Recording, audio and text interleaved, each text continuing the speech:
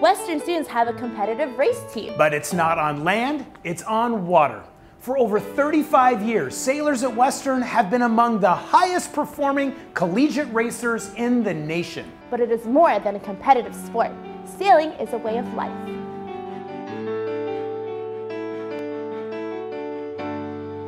We are Western's competitive race team.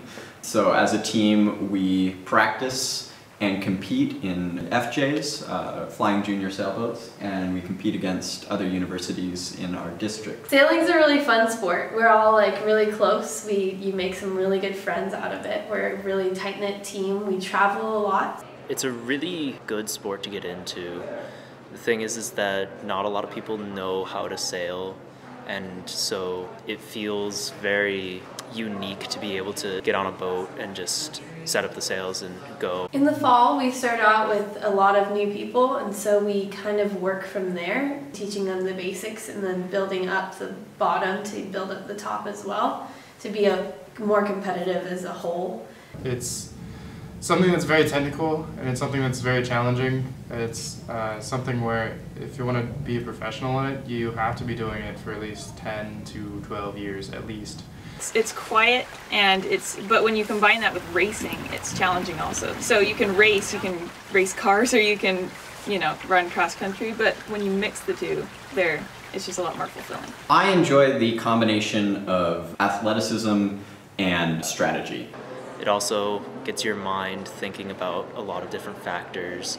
There's a lot of lines, there's a lot of different situations, and I don't think I've ever had two races that were exactly the same. So it's good if you're really up for a challenge. It's like any other sort of racing, except there's no track, there's no set course. One of the biggest problems that people have with sailing is adjusting to changing conditions. So if the wind gets heavier or lighter, you know, some people don't adapt fast enough. Sometimes you'll get wind from, you know, shifting directions and making it a little bit difficult to sail as quickly in, in your ideal direction. There's so many minor things that you kind of pick up here and there, and there's a lot of intricate details that um, if you kind of gloss over, you won't be the best sailor that you could be. The um, best sailor can sail in any condition. So if you're able to sail in light wind to really heavy wind to shifty wind, if you can sail in every single different type of condition, then you're a really great sailor.